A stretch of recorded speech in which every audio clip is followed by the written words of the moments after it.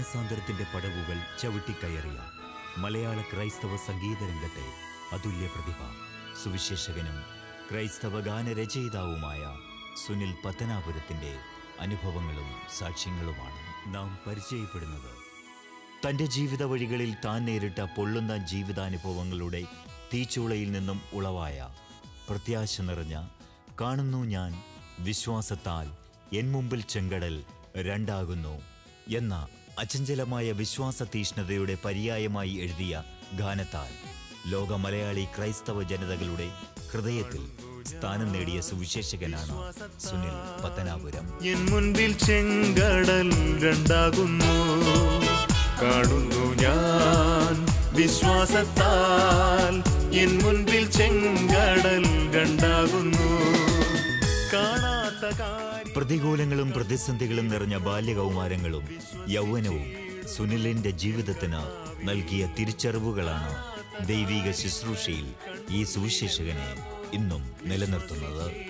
തകർന്നും നുറുങ്ങിയും ഇരിക്കുന്ന അനേകായിരങ്ങളെ ഒറ്റ ഗാനം കൊണ്ട് ദൈവസന്നിധിയിലേക്ക് ചേർത്തുവച്ച സുനിലിന്റെ ആ ഗാനം ഇന്നും ആയിരങ്ങൾ ഏറ്റുചൊല്ലുന്നു. എന്റെ ജീവിതത്തിൽ യേശു ചെയ്ത അത്ഭുതങ്ങൾ. എത്ര സ്തുതിച്ചാലും പറഞ്ഞാലും തീരാത്തത്. എന്റെ ജീവിതത്തിൽ യേശു ചെയ്ത അത്ഭുതങ്ങൾ. എത്ര സ്തുതിച്ചാലും പറഞ്ഞാലും പോരാത്തത്. യേശു സൗഖ്യം നൽകും അത് പൂർണ സൗഖ്യം വരമേകിടും അതിശ്രേഷ്ഠവരം ബലഹീനതയിൽ കൃപയാൽ പകരും ശക്തി. ബലഹീനതയിൽ കൃപയാൽ പകരും ശക്തി. എന്റെ ജീവിതത്തിൽ യേശു ചെയ്ത അത്ഭുതങ്ങൾ എത്ര സ്തുതിച്ചാലും പറഞ്ഞാലും തീരാത്തത്. ഒരു ഗാനം എഴുതുവാനോ സംഗീതം ചെയ്യുവാനോ നന്നായി പാടുവാനോ കഴിവില്ലാതിരുന്ന പ്രാപ്തിയില്ലാതിരുന്ന എന്റെ മേൽ സർവശക്തനായ ദൈവം കൃപ ചെയ്ത് ദൈവത്തിന്റെ പരിശുദ്ധാത്മാവിനെ എന്റെ മേൽ ദാനമായി പകർന്ന് ഞാൻ എന്റെ ജീവിതാനുഭവത്തിൽ നിന്ന് പാടിയ ഗാനമാണ് കാണുന്നു ഞാൻ വിശ്വാസത്താൽ എൻ മുമ്പിൽ ചെങ്കടൽ രണ്ടാകുന്നു. കഴിഞ്ഞ നാളുകളിൽ നിങ്ങൾ ഈ ഗാനം ഏറ്റെടുക്കുകയും ഹൃദയത്തിൽ സ്വീകരിച്ചുകൊണ്ട് ആത്മനിറവിൽ പാടി ആരാധിക്കുകയും ചെയ്ത ആ ദൈവസ്നേഹത്തെ ഓർത്ത് പ്രതികാൽ ഞാൻ നിങ്ങൾക്ക് ഏവർക്കും നന്ദി അറിയിക്കുന്നു. ഈ ഗാനം കർത്താവിന്റെ ജീവിതത്തിൽ പകരുവാൻ ഉണ്ടായ അനുഭവങ്ങളെ ഈ തരണത്തിൽ നിങ്ങളോട് ഓർമ്മിപ്പിക്കുവാൻ ഞാൻ ആഗ്രഹിക്കുന്നു. തികച്ചും സാധാരണ അന്തരീക്ഷത്തിൽ ജീവിതം നയിച്ച എന്റെ മേൽ ദൈവികമായ ഒരു തിരഞ്ഞെടുപ്പ് വന്നതുകൊണ്ടാണ് ഒരു ഗാനം എഴുതുവാനും അത് സംഗീതം ചെയ്യുവാനും ദൈവജനത്തിനായി സമർപ്പിക്കുവാനും ഇടയായി തീർന്നത്. എന്റെ പത്താം ക്ലാസ് വിദ്യാഭ്യാസത്തിന് ശേഷം ആയിരത്തി തൊള്ളായിരത്തി തൊണ്ണൂറ്റി മൂന്ന് ഈ കാലഘട്ടങ്ങളിൽ പ്രീ ഡിഗ്രി വിദ്യാഭ്യാസത്തിന് ശേഷം തുടർ പഠനത്തിനായി ഗുജറാത്തിലുള്ള വെരാവൽ ഇന്ത്യൻ റയോൺ ഇൻഡസ്ട്രീസ് എന്ന കമ്പനിയിലേക്ക് ഐ ടി ഐ പ്രാക്ടിക്കൽ പഠനത്തിനായിട്ട് ഞാൻ ആയിരത്തി തൊള്ളായിരത്തി തൊണ്ണൂറ്റി മൂന്നിൽ തന്നെ പോകുവാനിടയായി തീർന്നു. ആ കാലയളവിൽ എന്റെ ജീവിതത്തിൽ വളരെ വേദനാജനകമായ അനുഭവങ്ങളെയാണ് ഞാൻ തുടർന്ന് നേരിടുവാനിടയായി തീർന്നത്. നിമിഷ നേരം കൊണ്ട് തന്നെ എന്റെ ജീവിതത്തിൽ വല്ലാത്ത രോഗത്തിന്റെ പ്രയാസങ്ങൾ അനുഭവപ്പെടുവാനിടയായി തീർന്നു. പരിശുദ്ധാത്മ നിയോഗത്താൽ അറുപതിൽ പരം ക്രിസ്തീയ ആരാധനാ ഗീതങ്ങൾ രചിച്ച സുനിൽ പത്തനാപുരത്തിന് നേരിട്ട ചതികളും നിരവധിയാണ്. ഓരോ ദിവസവും വേദനയുടെ ആധിക്യത്താൽ വായി പുസ്തകം വായിക്കുവാനോ ഒരു പാട്ടുറക്ക പാടുവാനോ നന്നായി ഒന്ന് നടക്കുവാനോ ജോലി ചെയ്യുവാനോ കഴിവില്ലാത്ത തരത്തിൽ എന്റെ തലയുടെ മുകൾ ഭാഗത്തായിട്ട് അതിഭയങ്കരമായ വേദന അനുഭവപ്പെടുവാനായിട്ട് ഇടയായി തീർന്നു.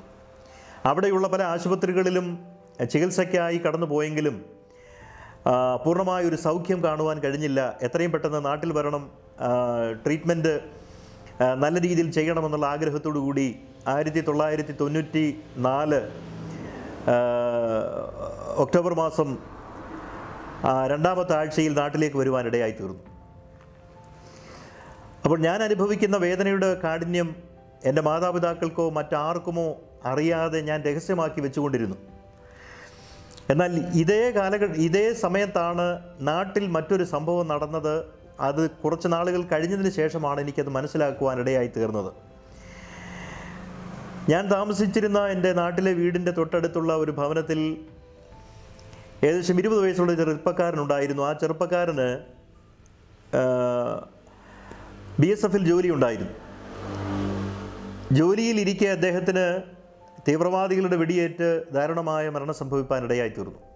അല്പം വസ്തുസംബന്ധമായ ചില വിഷയങ്ങൾ ഇതിന്റെ പശ്ചാത്തലത്തിൽ ഉണ്ടായിരുന്നപ്പോൾ അവരൊരു തെറ്റിദ്ധാരണ അവർക്കുണ്ടായത് ഞങ്ങളുടെ ഭവനത്തിൽ നിന്ന് ആരോ ക്ഷുദ്രപ്രയോഗം ചെയ്തതുകൊണ്ടായിരിക്കാം അവരുടെ മകന് മരണം സംഭവിച്ചെന്നുള്ള ആ തെറ്റിദ്ധാരണയിലാണ് പകരം ഞാൻ മരിച്ച് ശവപ്പെട്ടിയിലായി ആംബുലൻസിൽ എന്റെ ഭവനത്തിൽ കൊണ്ട് നിറക്കുന്നത് കാണണമെന്നുള്ള ആഗ്രഹത്തോടെ ഈ ക്ഷുദ്രപ്രയോഗം ചെയ്യുവാനായിട്ടിടയായി തീർന്നത് എന്നാൽ ഞാൻ താമസിച്ചുകൊണ്ടിരിക്കുന്ന വീട്ടിലേക്ക് ഓടും മരണഭീതി വർദ്ധിക്കുമ്പോൾ പിന്നെ അവിടുന്ന് കമ്പനിയിലേക്ക് ഓടും അങ്ങനെ ഒരു സ്വസ്ഥതയില്ലാത്ത അന്തരീക്ഷത്തിൽ ഞാൻ പെട്ടെന്ന് അകപ്പെട്ടു. എത്രയും പെട്ടെന്ന് നാട്ടിൽ വരാൻ ആഗ്രഹിച്ച് തീരുമാനമെടുത്ത് നാട്ടിൽ വന്ന ആയിരത്തി തൊള്ളായിരത്തി തൊണ്ണൂറ്റി നാല് ഒക്ടോബർ മാസം പതിനാറാം തീയതി രാത്രി ബുധനാഴ്ച എന്റെ ഭവനത്തിൽ ഞാൻ എത്തിച്ചേർന്നു. നാളെ രാവിലെ അടുത്ത ദിവസം രാവിലെ ചികിത്സയ്ക്കായി പോകണമെന്ന് ആരോടും പറയാതെ ഹൃദയത്തിൽ തീരുമാനമെടുത്തു. അന്ന് രാത്രിയിൽ പ്രാർത്ഥിക്കാനായി ദൈവസന്നിധിയിൽ ഇരുന്നപ്പോൾ ഞാനും മാതാവും പ്രാർത്ഥനയ്ക്കായി ദൈവസന്നിധിയിലിരുന്നു രാത്രി പതിനൊന്ന് മണിയായി.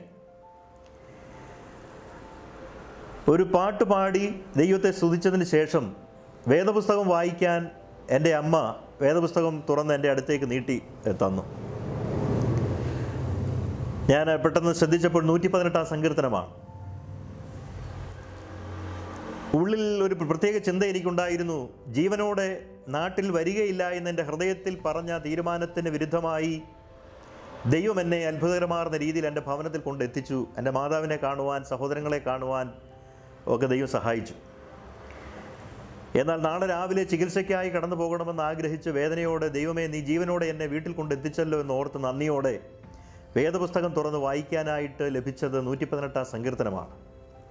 അതിന്റെ ആദ്യ വാക്യം ഞാൻ വായിക്കാൻ തുടങ്ങിയപ്പോൾ എന്റെ കാതിൽ അതിഭയങ്കരമായ ശബ്ദത്തിൽ ആ വാക്യം തന്നെ പ്രതിധ്വനിച്ച് കേൾക്കുവാനിടയായി തീർന്നു. ഒരുപക്ഷെ എന്റെ കാ കാതുകൾ അല്ലെങ്കിൽ കർണപുടം പൊട്ടിപ്പോകുന്ന രീതിയിൽ ഭയപ്പെട്ടിട്ട് ഞാൻ വല്ലാതെ കരയുവാനായിട്ട് ഇടയായി തീർന്നു. ആദ്യ വാക്യം ഇങ്ങനെ പറയുന്നു യഹോവയ്ക്ക് സ്തോത്രം ചെയ്യുവാൻ അവൻ നല്ലവനല്ലോ അവന്റെ ദയ എന്നേക്കുമുള്ളത്. അനേകായിരങ്ങൾക്ക് വിശ്വാസവും പ്രത്യാശയും പകർന്നു നൽകിയ അനേകം ഗാനങ്ങളുടെ രചയിതാവിന് ഇന്നും അചഞ്ചലമായ ദൈവിക വിശ്വാസം മാത്രമാണ് കൈമുതലായിട്ടുള്ളത്. തുടർന്ന് ഓരോ വാക്യങ്ങളും അതിഭയങ്കരമായ ശബ്ദത്തിൽ എന്റെ കാതുകളിൽ മുഴങ്ങി കേൾക്കാൻ തുടങ്ങി. ഏഴ് എട്ട് വാക്യങ്ങളിലേക്ക് വരുമ്പോൾ ഇപ്രകാരം എന്നോട് സംസാരിക്കാൻ തുടങ്ങി. മനുഷ്യനിൽ ആശ്രയിക്കുന്നതിനേക്കാൾ യഹോവയിൽ ആശ്രയിക്കും നല്ലത്. പ്രഭുക്കന്മാരിൽ ആശ്രയിക്കുന്നതിനേക്കാൾ യഹോവയിൽ ആശ്രയിക്കും നല്ലത്. രാവിലെ ഡോക്ടറിനെ കാണാനായി ആഗ്രഹിച്ച് ആ തീരുമാനം ആരോടും പറയാതെ രഹസ്യമാക്കി വെച്ച എന്നോട് ദൈവത്തിന്റെ പരിശുദ്ധാത്മാവ് ഈ ദൈവദിനത്തിൽ കൂടി സംസാരിക്കാനിടയായി തീർന്നു. മനുഷ്യനിൽ ആശ്രയിക്കുന്നതിനേക്കാൾ യഹോവയിൽ ആശ്രയിക്കുന്ന നല്ലതെന്ന് പറയുവാനിടയായി തീർന്നു. ആ വാക്യത്തിന് ശേഷം തൊട്ടടുത്തുള്ളൊരു വാക്യം കൂടെ ഞാൻ എന്റെ കണ്ണീരിൽ വായിക്കുവാൻ ഇടയായി തീർന്നു. യഹോവയായ ഞാൻ നിന്നെ കഠിനമായി ശിക്ഷണപ്പെടുത്തി എന്നാലും ഞാൻ നിന്നെ മരണത്തിന് ഏൽപ്പിച്ചില്ല.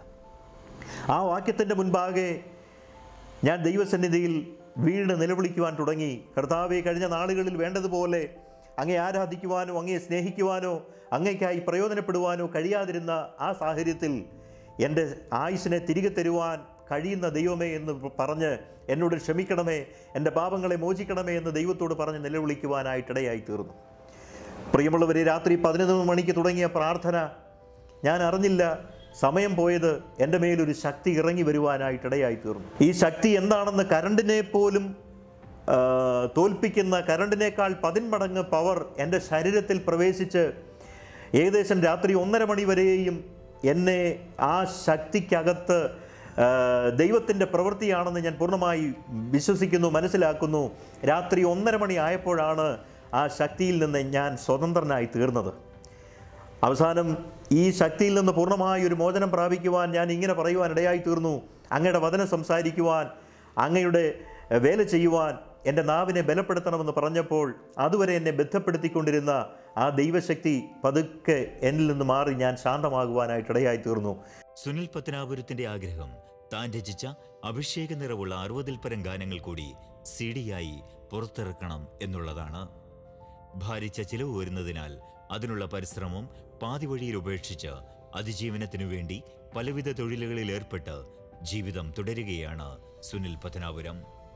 ദൈവം ദാനമായി നൽകിയ കുടുംബമാണ് ഇത്. ഭാര്യ നാൻസി മൂത്ത മകൻ ഡാനി എസ്കോശി കോശി മകൾ ഡി ഐ എസ് ഗ്രേസ് ഇളയ മകൾ ഡിസ്നി എസ് മേരി. ഞങ്ങളുടെ വിവാഹം രണ്ടായിരം മെയ് നാലാം തീയതി ആയിരുന്നു ദൈവകൃപയാൽ ഇന്നുവരെയും അത്ഭുതകരമാർന്ന രീതിയിൽ ദൈവനാമ മഹത്വത്തിനായി ജീവിക്കുവാൻ സാക്ഷിയാകുവാൻ കർത്താവ് കൃപ നൽകിക്കൊണ്ടിരിക്കുന്നു. എന്റെ ജീവിതത്തിൽ പല സന്ദർഭങ്ങളിലും അധ്വാനത്തിൽ ഒന്നും ലഭിക്കാതെ വന്നപ്പോൾ ആ മുഴുരാത്രി അധ്വാനം വെറുതെയായി എന്ന് തുടങ്ങുന്ന ഒരു ഗാനം കർത്താവ് തരുവാനിടയായി. പാർത്തലത്തിൽ പരദേശിയായി പാർത്തിയിടുന്നാൾ നിൻ കൃപകൾ ആശ്വാസമേ ആനന്ദമേ എന്നെന്നും ഞാൻ അങ്ങേ വാഴ്ത്തിയിടുമേ എന്നുള്ള ഗാനം അങ്ങനെ പാടുവാനിടയായി തീർന്നു. ഞങ്ങൾ ഒന്നിച്ച് പാർത്തലത്തിൽ പരദേശിയായി പാർത്തിയിടുന്നാൾ നിൻ കൃപകൾ എന്ന ഗാനം പാടുവാൻ കർത്താവിൽ ആഗ്രഹിക്കുന്നു.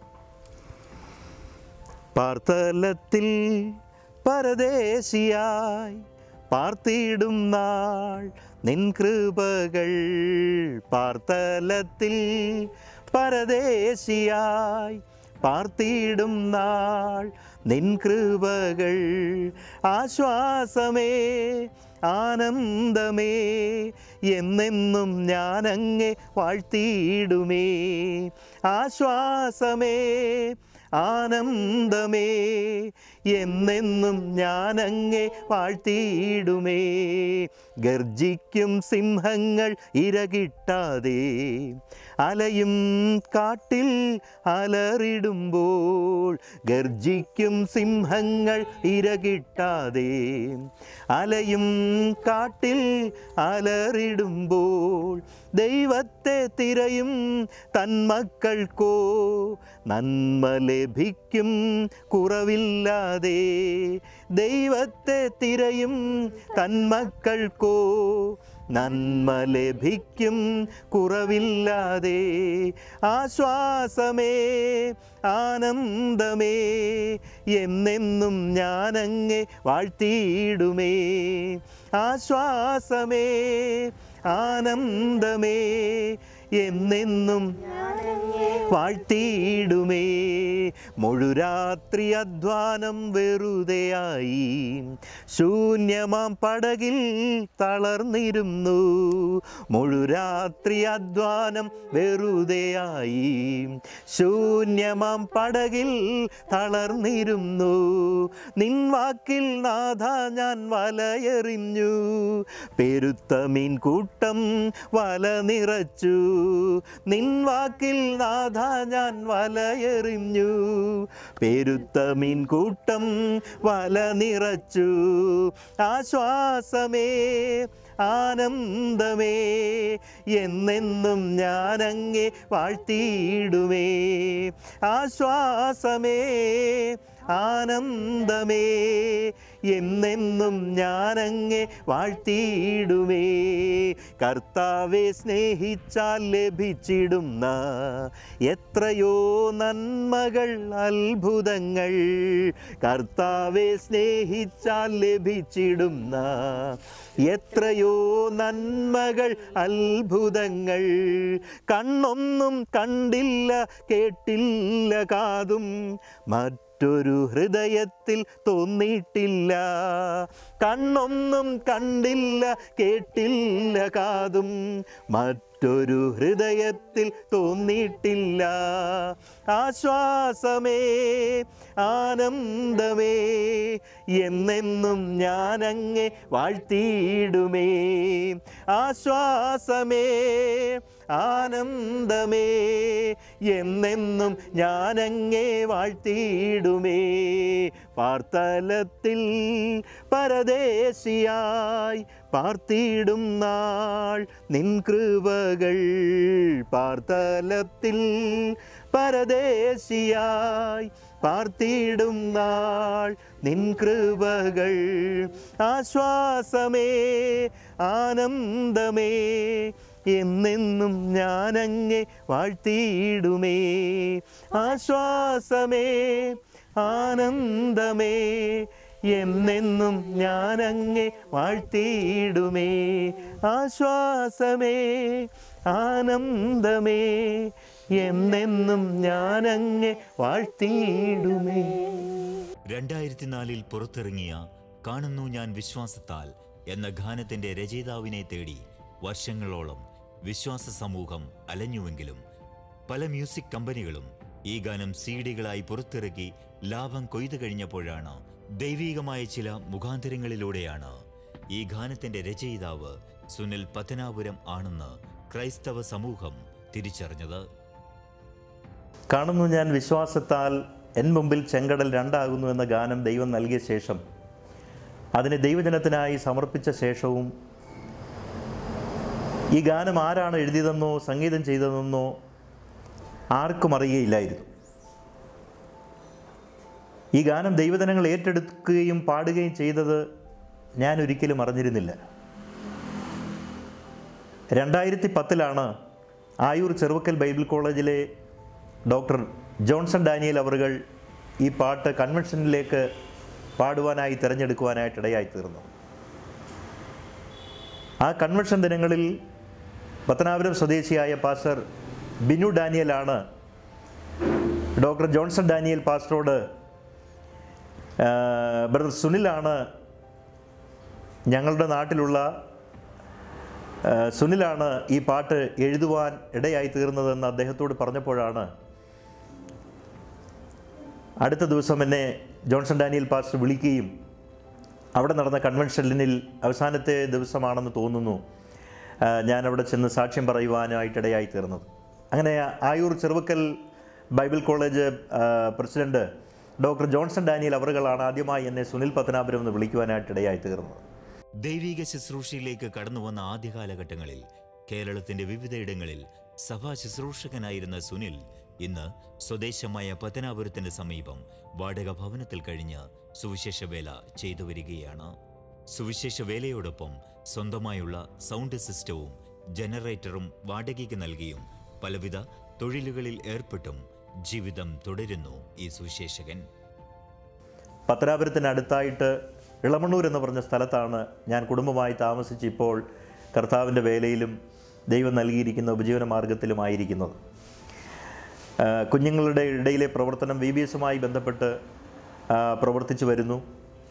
അതുപോലെ ദൈവം അയക്കുന്ന വിവിധ ഇടങ്ങളിൽ ദൈവത്തിന് സംസാരിക്കുവാനും ജീവിതാനുഭവങ്ങൾ പങ്കുവെക്കുവാനും ഗാനങ്ങൾ ആലപിക്കുവാനും ദൈവം എന്നെ സഹായിക്കുന്നു. കുടുംബമായി പത്തനാപുരത്തിന് സമീപമുള്ള ഈ പ്രദേശത്ത് താമസിച്ചുകൊണ്ട് കർത്താവിന്റെ സാക്ഷിയായി നിൽക്കുന്നു. ദൈവത്തിന്റെ കൃത്യമായ സമയത്ത് അത്ഭുതങ്ങളുടെ കലവറ തനിക്കായി തുറന്ന് അനേകായിരങ്ങൾക്ക് ഇനിയും ആശ്വാസമേകുവാനായി ചില ഗാനങ്ങൾ കൂടി പുറത്തു വരുമെന്ന് അദ്ദേഹം ഉറച്ചു വിശ്വസിക്കുന്നു. സുനിൽ ജീവിതം തുടരുകയാണ്. വിദേശത്തുള്ള ഒരു സുഹൃത്ത് സവാശുശ്രൂഷകൾ നടത്തുവാൻ വിട്ടു നൽകിയ ഭവനത്തിന് സമീപം മറ്റൊരു വാടക ഭവനത്തിൽ താമസിച്ച് നിരവധിയായ സുവിശേഷീകരണ പ്രവർത്തനങ്ങൾക്ക് നേതൃത്വം നൽകുന്നു ഈ സുവിശേഷകൻ. ആയിരത്തി തൊള്ളായിരത്തി എഴുപത്തിനാലിൽ പത്രാപുരത്താണ് എന്റെ ജനനം. എന്റെ പിതാവ് ജോൺ കോശി മാതാവ് ഗ്രേസി കോശി സഹോദരങ്ങൾ ഒരു സഹോദരൻ ഒരു സഹോദരി അവരൊക്കെയും പല ഇടങ്ങളിലായി കഴിയുന്നു. ഞങ്ങൾക്കും കുടുംബമായി Pathanapuram Shalambaram church of God ദൈവസഭയിൽ ആരാധനയ്ക്ക് പോകുവാനും ദൈവത്തെ സ്തുതിക്കുവാനും കഴിയുന്നു. ദേശത്തിന്റെ വിവിധ ഭാഗങ്ങളിൽ കർത്താവിന്റെ നാമത്തെ മഹത്വപ്പെടുത്തുവാൻ ദൈവം അവസരം തരുന്നു. പ്രത്യേകിച്ച് ഈ സമയം എന്റെ ജീവിതാനുഭവങ്ങൾ ഈ ഗാനത്തിന്റെ പശ്ചാത്തലം നിങ്ങളോട് പങ്കുവെക്കുവാൻ സർവകൃപാലുവായ ദൈവം എന്നെ ബലപ്പെടുത്തിയതിൽ ദൈവത്തോട് ഞാൻ കടപ്പെട്ടിരിക്കുന്നു. ദൈവത്തിന് സകല മാനവും മഹത്വവും അർപ്പിക്കുന്നു. എല്ലാ പ്രിയപ്പെട്ടവർക്കും കർത്താവിന്റെ നാമത്തിലുള്ള നന്ദി അറിയിക്കുന്നു. സർവശക്തനായ ദൈവം നിങ്ങളെ അനുഗ്രഹിക്കുകയും സഹായിക്കുകയും ചെയ്യട്ടെ. ഒരുപക്ഷെ നിങ്ങളുടെ ജീവിതത്തിൽ കഴിവില്ലെന്നോ പ്രാപ്തിയില്ലെന്നോ ഒന്നിനും കഴിയുകയില്ല എന്നോ തീരുമാനമെടുത്തിരിക്കുന്ന ചിന്തിക്കുന്ന വ്യക്തിയാകാം നിങ്ങൾ. എന്നാൽ ഒരു ഗാനം എഴുതുവാനോ സംഗീതം ചെയ്യുവാനോ പാടുവാനോ ഒരു പ്രാപ്തിയുമില്ലാതിരുന്ന എന്റെ മേൽ ദൈവത്തിന്റെ പരിശുദ്ധാത്മാവ് വന്നപ്പോൾ ദൈവത്തിന്റെ വചനം ഇങ്ങനെ പറയുന്നു ഞാൻ സകല ജഡത്തിന്റെയും ദൈവമായ യഹോവയാകുന്നു. എനിക്ക് കഴിയാത്ത വല്ല കാര്യവും ഉണ്ടോ? നമ്മുടെ ജീവിതത്തെ മാറ്റിമറിക്കുവാൻ സമാധാനമില്ലാത്ത അവസ്ഥയിൽ നിന്ന് സന്തോഷത്തിലേക്ക് നമ്മെ കൊണ്ടുവരുവാൻ സ്വസ്ഥതയിലേക്ക് നമ്മെ കൊണ്ടുവരുവാൻ ജീവിതത്തിൽ സകലതും നഷ്ടമായി ശൂന്യമായി എന്ന് കരുതുന്ന സാഹചര്യത്തിൽ ദൈവം പുതുജീവൻ നൽകി കഴുകനെ പോലെ ചിറകടിച്ചുയർന്ന് തല ഉയർത്തി ദൈവനാമത്തെ ഉയർത്തുവാൻ സാക്ഷിയായി ജീവിക്കുവാൻ ബലം പകരുന്ന ദൈവമാണ് ഈ നല്ല ദൈവം. ആ ദൈവത്തിന്റെ അത്ഭുതമാർന്ന വഴികളിൽ സഞ്ചരിക്കുവാൻ നിങ്ങളെ ഏവരെയും ആഹ്വാനം ആഹ്വാനം ചെയ്തുകൊണ്ട് ഞാൻ എന്റെ ഈ സാക്ഷ്യത്തിൽ നിന്ന് വിരമിക്കുന്നു. ദൈവത്തിന് മഹത്വം. ഒറ്റഗാനത്തിലൂടെ അനേകായിരങ്ങളുടെ ഹൃദയങ്ങളിലേക്ക് ചേക്കേറിയ സുവിശേഷകനാണ് സുനിൽ പത്തനാപുരം. വിശ്വാസവും പ്രത്യാശയും നിറഞ്ഞ ഒറ്റഗാനത്തിലൂടെ തകർന്നും നുറുങ്ങിയും നിരാശപ്പെട്ടുമിരുന്ന അനേകർക്ക് ആശ്വാസത്തിന്റെയും പ്രത്യാശയുടെയും പുതുജീവൻ സമ്മാനിച്ച സുവിശേഷകൻ. ഇനിയും പിറക്കട്ടെ ഈ വിരൽത്തുമ്പിൽ നിന്നും ഒരു നൂറായിരം വരികൾ. ഈ ജീവിതം കൊണ്ട് ഇനിയും ആശ്വാസമേകിടട്ടെ ആയിരമായിരം തകർന്ന ഹൃദയങ്ങൾക്ക് എന്ന പ്രാർത്ഥന മാത്രം സുനിൽ പത്തനാപുരത്തിന് സമർപ്പിച്ചുകൊണ്ട് മാനസാന്തരത്തിന്റെ പടവുകളുടെ ഇന്നത്തെ അധ്യായം ഇവിടെ പൂർണമാകുന്നു.